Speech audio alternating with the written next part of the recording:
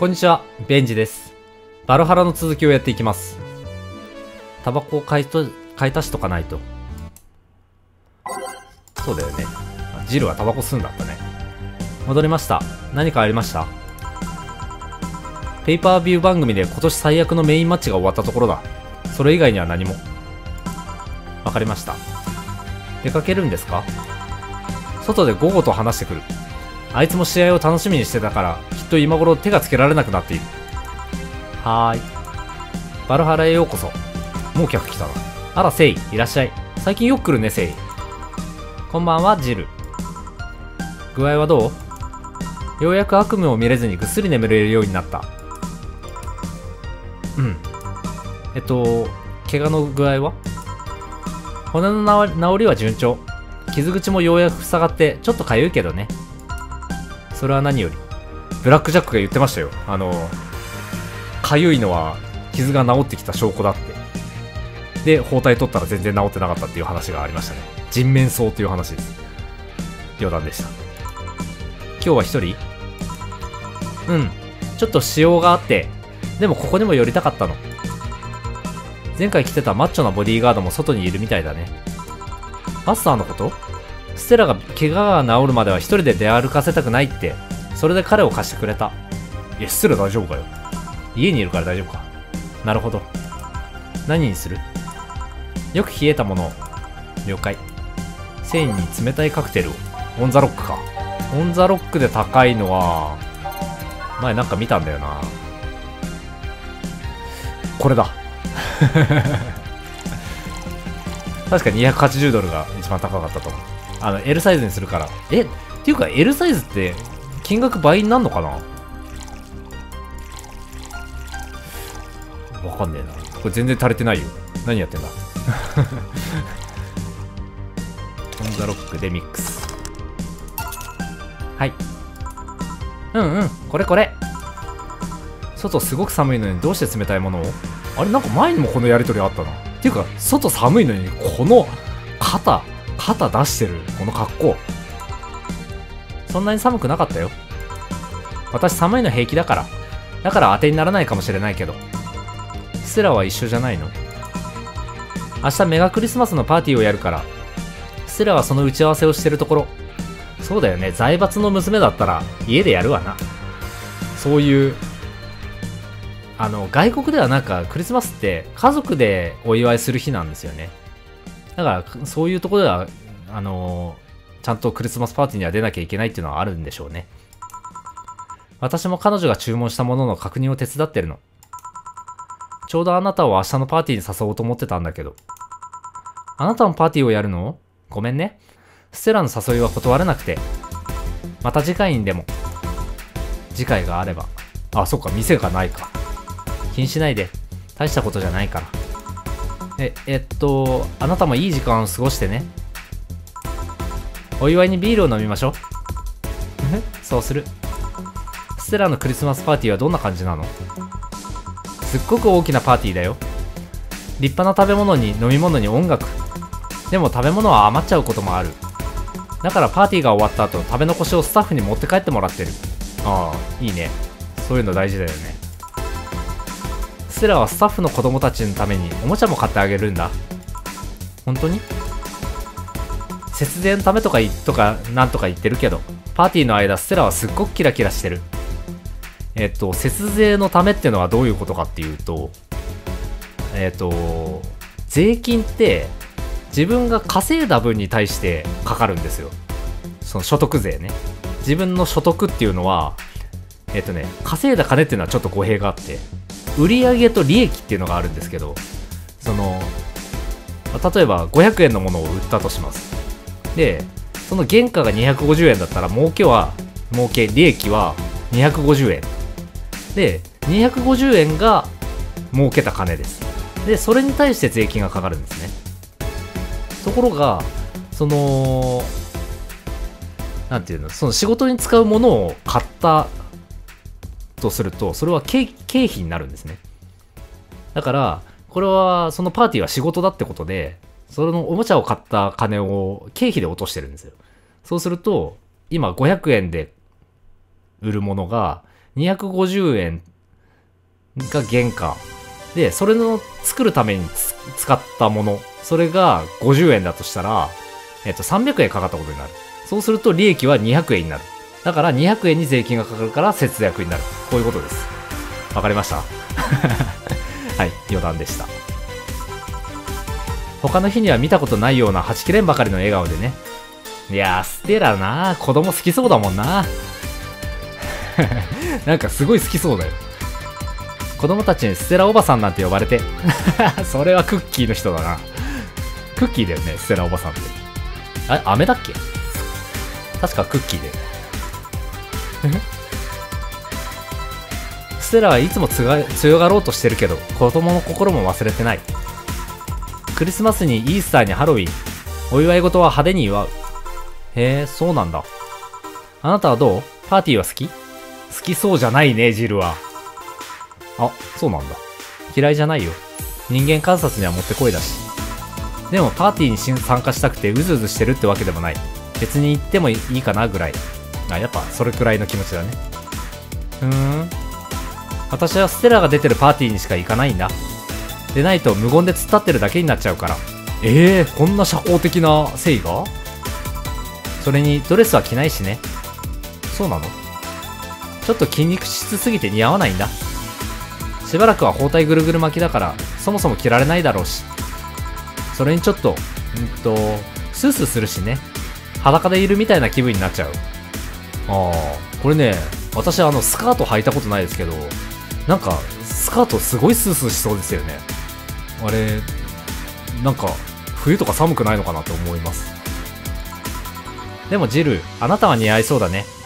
ああ、まあスラッとしてるしね。でもパンツが好きそう、ジルは。あ、なんかスカートに悪い思い出があるって言ってたよね。最後に来たのはもう何年前かな。あ、スカートじゃなくてドレスの話か。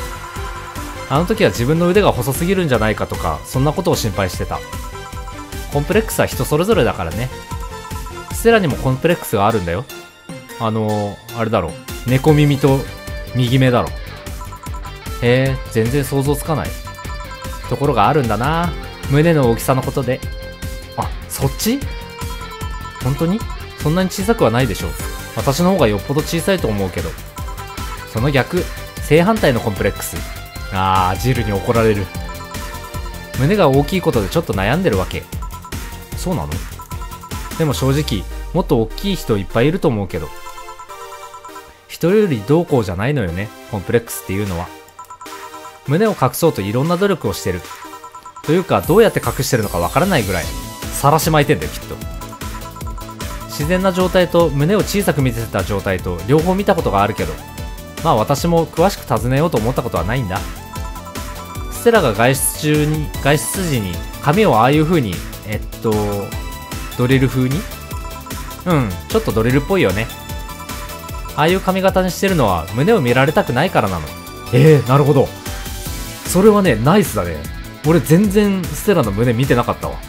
あの、ドリルが、あの、体の前にあるから、そのドリルに注目しちゃう。あれで隠すっていうよりも、ドリルがすげえドリルだから、そっちに目が行くんだよね。マジシャンのやる手法だね。お金持ちなんだし、縮小手術もできそうだけど。そこが複雑なところで、ステラはあの大きさを気に入ってるの。気に入ってもいるの。いやー、複雑だわ、それは。お母さんからの遺伝だからね。カーマインさんは自分の胸を自慢に思ってる。張りのある胸は自信の証拠。パンパンであるほど自信があるということなの。みたいなことをよく言ってる。ステラはお母さんをすごく尊敬してるから、手術で小さくしたりするのは裏切りだと思ってるのかも。なるほどね。親からもらった体に傷つけないみたいな感じか。あの、入れ墨とかピアスとかね。まあそういう古風な考えの人もいますよね。ふーん。こんなこと言ってると、まるでステラがものすごい巨乳みたいだけど、もうちょっと背が高かったり、ふくよかだったりすれば普通だと思うんだよね。ちょっと小柄だから大きく見えるだけで。あ、確かにちっちゃいな。なんか、背よりちっちゃかったような気がする。背が。あなたは自分の胸のサイズを気にしてる？そうでもないかな。それより長身の方がコンプレックス。あ、そうなんだ。この身長のせいでうまくいかないことがあるといつも凹んじゃう。あなたは？あるようなないような。胸の大きさというか、見た目が男っぽすぎるとか。ああ、まあ、ガタイはいいよね。でも、可愛いよ。セイは。もっと胸があったら女らしく見えるのかなとかはいつも思う。あ、こっちが貧乳コンプレックスだったよ。大丈夫。ちょうどいい大きさだよ。ありがとう。おかわりする？そうね。ノンアルコールのカクテルもできる？うん、ちょっと待ってて。せいにノンアルコールのカクテル。ノンアルコールってあれだよね。特に書いてはいないんだよね。あの、カルモトリンが入ってないやつ。あこれなんかあれだね。全部入れないね。また L サイズにするよ。1、2、3、4、5、6。ブレンド。あ氷入ってんのにすればよかった。冷たいの好きって言ってたよね。はい。ありがとう。アルコールはあんまり口にしないんだね。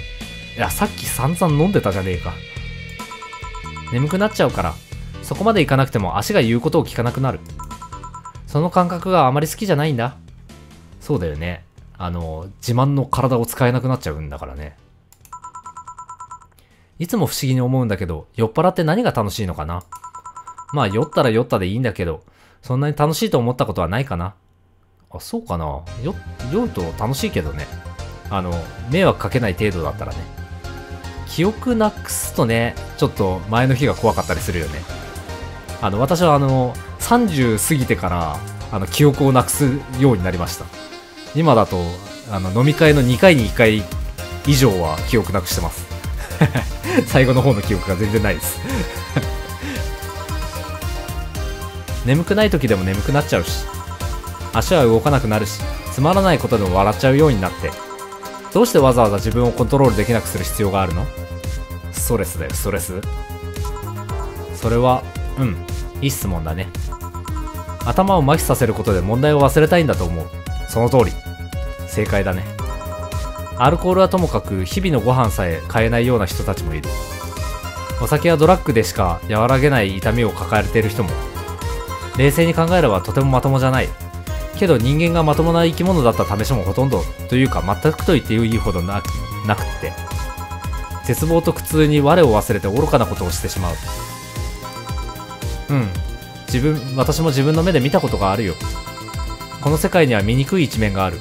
誰にとってもふさわしくない一面が。うん。それに、アルコール中毒の問題もある。確かに。好きで飲んでても、そのうちもっとって欲しがるようになって、気づいた時には中毒になってる。うん、それもあるね。それでそっちはどんなパーティーをやるの？あ、いきなり話題変わったよ。地味なパーティーだよ。参加するのは私とボスとギルと、それから常連が何人か。食べ物を持ち寄っておしゃべりして、それだけ。わあ、すごく楽しそう。少なくともステラが計画してるめちゃくちゃなパーティーよりはね。また同じようなパーティーをやることがあったら教えてくれる？うん。ねえ、セイ。ん？これからどうするの？最後のお使いを済ませたら家に帰るよ。そういうことじゃねえな。そうじゃなくて、ホワイトナイトが解散しちゃったでしょ？今後の身の振り方のこと。正直言うとまだ何も考えてない。いや、ステランチでボディーガードやってればいいんじゃない？それが天職だと思うよ。プラン B は用意してなかった。だってさ、プラン B でもいいならそれを最初からプラン A にしたっていいわけじゃない？勉強できなかったから大学どころか高高校も卒業してないし。警察に入るって手もあるけど、ホワイトナイトほどスリリングじゃないだろうし。あ、スリルを求めてんのか、ホワイトナイトに。それに恥知らず、恥知らずな汚職にはもううんざり。組織に属したくないってことか。そうね。でも生きてる。え？アポロ信託銀行の一件で一つ学んだんだ。命っていうのはそう簡単にポイポイ捨てられるものじゃないんだって。あそこから張ってでも逃げようとしたことで自分がどれだけ生きたいと思ってるか分かった。そうね。多分、あの、全然体験したことはないですけど、人間は死の淵に立つと、あの、生きてる実感が湧くというか、なんかそういうことはあるみたいですね。あの、風邪ひいた時に健康の大事さを知るとかね。なんか、いつもあの、そのあることにえーと、感謝できるのはなくした時とかなくしそうになった時なんですよね。たくさんの犠牲者が出たけど私は今ここでこうして生きてる。今後どうするかはわからないけどまだ生きてる。だから遅かれ早かれ何か見つけられると思うんだ。前向きだねせいいい考え方だ。そっかよかった。そろそろ行くね。じゃあねジル。パーティーがうまくいくといいね。またのお越しを。いらっしゃいませ。ああ、探偵さん。お、久しぶりだね。えっ、ー、と、アート。いやどうも。強い酒をもらえないか？わかりました。探偵さんに何か強いものを。男らしいカクテルね。男らしくて強いがいいんだよな。これか。いや、これダメ。安い。あー。スープレックスは？あー、ヒリヒリ。あああ、まだマーズブラストの方がいいか。マーズブラストにしよう。L サイズで。あ、ダメか。L サイズできない。え？じゃあ、うーん。待って、強いでしょじゃあ、クレビースパイク。酔いざましだからこれは強いよね。ああ、アルコールいっぱい入れれば強くなるじゃん。そういう意味じゃないかな。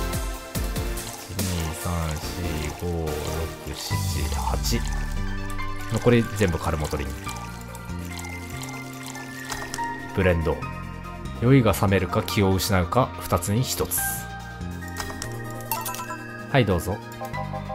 うんこれでいいだろう。今日はどうなされたんです？特に用があったわけじゃない。調査でたまたま近くに寄ったんだ。どんな調査です？人を殺し屋を探してる。ジェイミーかな？クリズムゾンなんとかって女性は見つかったんですか？そいつを探してるんだ。へえ。その仕事仕事からは手を引いたんじゃ？そうだよ。でも依頼人の男に大金を積まれてね断りきれなかった。まあ私が口を出すことじゃないですけど。でも1階の雇われ探偵が殺し屋を探してるなんて額面通りに受け取れないっていうか。うん。この店はどれくらい安全だい？BTC の財産法によって守られています。壁は防音ですしだから情報をやり取りするにしてもこれっぽっちも気を使う必要はありません。そうか。いや待って。壁が防音？どうしてまた？え？ちょっと待って。壁防音？ソニックブームの音とか聞こえてたけどね。あと外での話し声とかも聞こえてるけど。本当か？外にあった自販機を見ました？あいつらはすごくおしゃべりなので防音にしないとうるさすぎて。そうか、なるほど。ランス・ラベンダー校って名前に心当たりは？いえカニエ・バニアの有名人だ。グリッチシティのナノマシンは彼の血液に奇妙な反応をするらしい。一旦空気と接触した彼の血液は何も起こない起こらない起きないのだが空気に触れないようにしたまま他の誰かの血液と接触させるとナノマシンが反応する。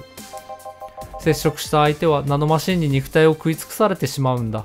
えナノマシン拒絶症じゃんそれ。当局は彼をモルモットにしてこの反応が起きる原因を突き止めようとしている。ナノマシン拒絶反応の治療に使えるかもしれない。あ逆に？ふん。毒を持って毒を制すみたいなとこ？でクリムロンクリムゾンローズはなんと彼の娘だったんだ。彼女は数年前生計を立てるためにこの町に出てきた。それ以来父親は一度も娘に会っていない。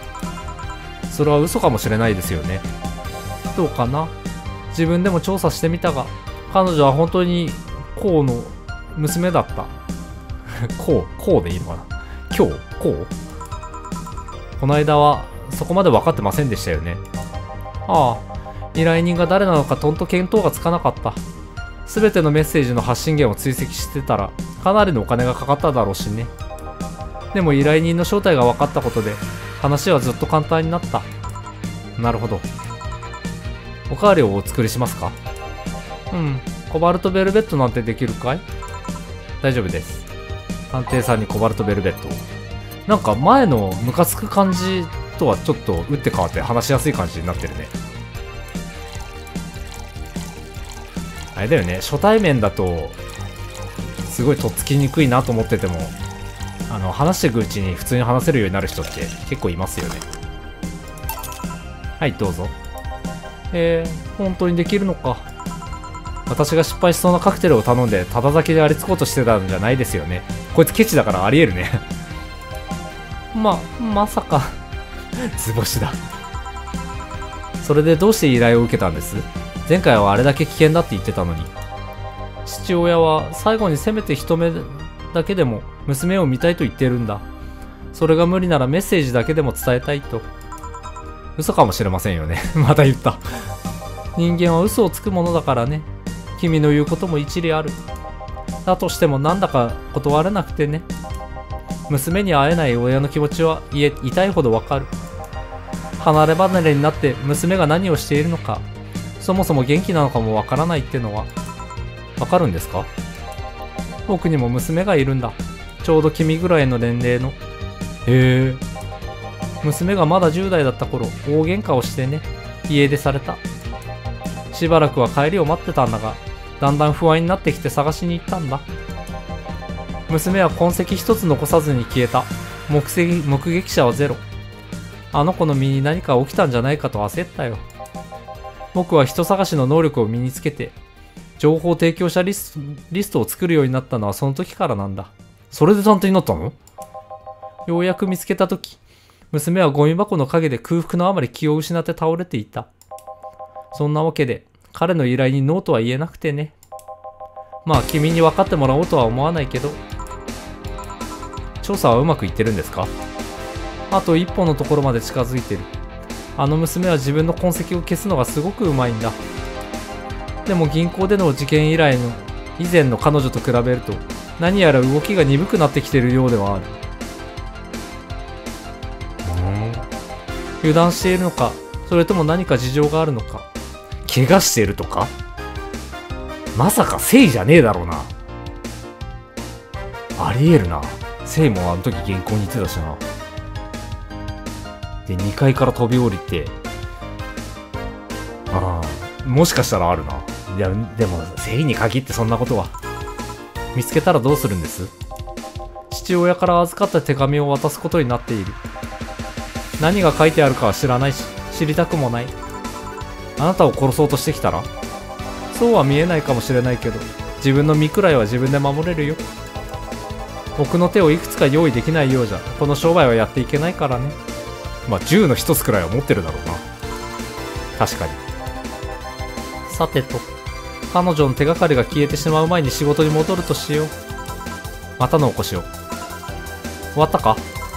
はい。よし。では明日夜の8時にここに来てくれ。仕事はなしだ。店は一日休みにしよう。とびっきりの服を着てこいよ。なんといってもパーティーなんだから。はーい。ドレス着るかな？ところでギルはどうしたんです？パーティーに必要なものを全部あいつの部屋に置かせてもらっているんだ。ここからすぐだから。だから今日はもう帰らせた。明日運んできてもらおうと思ってな。なるほど。じゃあボス、また明日。ちょっと待ってろ。送っていく。そうですか。ありがとうございます。やったじゃん。よし、パーフェクト。今のお前に必要なのはささやかなパーティーだ。300ドルでビール買えってことだな。よし、パーフェクトボーナスは取っていかないとね、金足りなくなるからな。メガ、メリーメガクリスマス。メガサンタとなって蘇り、レッドモンドファミリーからクリスマスを救ったサンタを称えよう。何言ってるかわかんねえ。いい休日を。何も買わなくてもいいんだ。パーティーに行くの？残り物もらってくるから。うん、いいね。資金を持って帰ろう。お、きらみきが更新してるブログ。ここまで読んだな。夢の人。時々考えるの。この先自分にとって大切な人に会える日は来るのかなって。この世に生を受けてからまだ3年しか経っていない。あれ？これ、読んだか？読んだよね、多分。ああ、読んだ読んだ。今年もメガクリスマス。クリスマスはもうお馴染みすぎるぐらいだけど、グリッチシティのメガクリスマスはメガ最高。めちゃくちゃおバカみたいな名前だし、由来もとってもクレイジー。でもグリッチシティのクリスマスはとっても独特で素敵。クリスマスにフライドチキンを食べる地域もあるけどここでは全然違う。日本のこと言ってるね。あお祝いする日にちは一緒だから全然違うってほどでもないかも。でも本当にすごいんだから。わあそろそろ本にサインしないと。メリーメガクリスマス。メガクリスマスだっけ？それともメガクリスマス？さあどっちでもいいけど。点がつくかつかないかってことか。何これ？ゆるゆりじゃん。え？ゆるゆりなの？ゆるゆりは今シーズン最高の番組。ゆりや日常系アニメのファンでないあなたはゆるゆりが放送されている今シーズンこそ萌え協会の一員になる覚悟をしておこう。この番組は近年最高の出来栄えだ。しかし人気掲示板デンジャー U では評価は割れているようだ。どう見ても売春。女性が女性女性らしいことをしてぶちのめしに合う。昔のアニメはそうだったよな。それに比べてなんだこのゴミは。お前らはただ彼女たちの日常生活が嫌いなだけだろ。シナズと結婚する。あの世界に入りたい。ゆるゆりは RSTV で今週金曜日に放映中。これこのシナズって人がいるかわかんないけどあのゆるゆりっていうアニメのこと言ってるよねこれ。見たいの？アニメはオタクの見るもの。じゃあジルが見るもんじゃお女性ロボットの軍団軍隊。え？これあれのこと言ってない？あの、聖がいる。ホワイトナイトのことだね。AI を持たない諸君は要注目。西の王こそ、こと、西側諸国、カニエバニア、あ、カニエバニア？の幹事は超セクシーな女性を模した約6000体のロボット兵をはべらせている。この既得な独裁者の気癖は問題なだろうか？ベネズエラの独裁者どもにしろ、好き、好き放題やってるだけの連中にしろ、そういう奴らは何も気にしちゃいない。とマリアナ・ジマー35歳は街頭インタビューで語った。でもすごくホットな女たちだね。俺が彼ら、彼だったら同じことをしたかも。だってさ、自分の思い通りに製造できるなら手のかかる本物なんていらないだろ何か分かり次第またお伝えする。カニエ・バニアは以前、非軍事化されたはずじゃ。え、そうなの？え、なんで軍隊持ってんの？あれかな？自衛隊かな？ああ、来たリルムに謎のメッセージ、その2。メッセージの送信は突然終わり、すべてがまたいつも通りに戻った。しかしあれは一体何だったんだろうか単なるいたずら？それともリリムの通信チャンネルを妨害できると気づいた誰かの犯行？いずれにしろ、いくつかの報道によると、最近リリムの行動はいつもと少し違うという。おそらく彼らも混乱しているのであろうが、そういうことはこれが初めてではない。5年前にも似たような事件があったことを思い出してほしい。リリムが歴史的な進化を遂げた時のことだ。幸運にもあの時は何も起きなかった。今度はどうなるんだろうか。答えを待つしかない。怖いね。そうね、少し。よし、じゃあ、明日は、あれだね。あのー、メガクリスマスのお祝いだから仕事は休み。ってことは金も稼げないんだよ。まあ、楽しみましょう。はい。ということで、今日はこれで終わります。ご視聴ありがとうございました。いかがだったでしょうか？動画は毎日アップロードしています。チャンネル登録は左上のアイコンまたは画面下のチャンネル登録ボタンからお願いします。このゲームの再生リストは右上のサムネイルから飛ぶことができます。チャンネルページでは他にやったゲームがまとめてありますのでよかったら見てください。ではまた明日。